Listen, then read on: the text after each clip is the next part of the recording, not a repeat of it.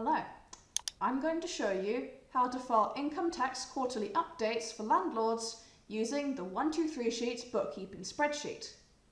You would first need to download the lettings bookkeeping file. You can do that from within your account if you have purchased the bookkeeping spreadsheet already. I'm going to show you a demo version for the purposes of this video. Upon opening the spreadsheet, you should go to the Settings tab first and choose the various options that best suit your needs. These options will make the spreadsheet more simple or more complex depending on what is chosen. In this example, we have added some complexity and have chosen the options not VAT registered, there are multiple beneficiaries on varying percentages of properties, we want to show per property analysis, we want to be able to enter data from agent statements. To start adding income details, click on Rent and fill in these columns accordingly. The process is the same for the Expenses and Other Entries tabs. You can, of course, copy and paste underlying data from sources, such as a download of a bank transaction. You can also add data from letting agent statements.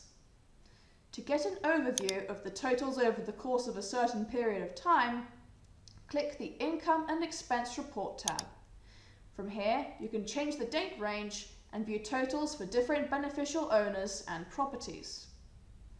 To view a ledger of all transactions, either by property or beneficial owner, we can use the ledger report. When you're ready to file quarterly submissions, click on Income Tax File in the Reporting category. We can click on the detailed report to see what is in a quarterly submission first. Then, when we are happy with that, we can create a PDF ready for submission. Clicking HMRC file will generate a PDF to upload to our website the quarterly summary data HMRC is looking for. Upon clicking HMRC file, a warning pop-up will appear, as after the HMRC file is generated, the data for that period will be locked and any later amendments will have to be listed as additional transactions in whichever tab necessary. After clicking OK, the file will be generated and will open automatically. This will be saved as a PDF file that you will upload to our website. So, go to our website, log in, and on the To Do tab, you can see the outstanding returns. The data on the To Do and History tabs is live data provided by HMRC, and if you have self-employment income, any required quarterly submissions for those will also show on this page.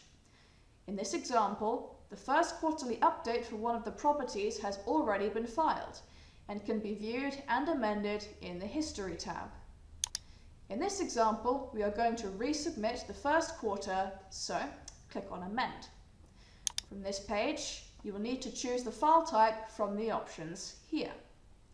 Since we are using the 123 Sheets bookkeeping spreadsheet, we need to pick 123 Sheets PDF. If you are using consolidated expense figures, tick this box.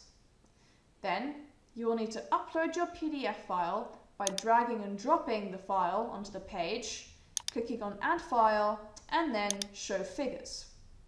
Alternatively, you can click on Choose File, find the file from your window pop-up and upload it.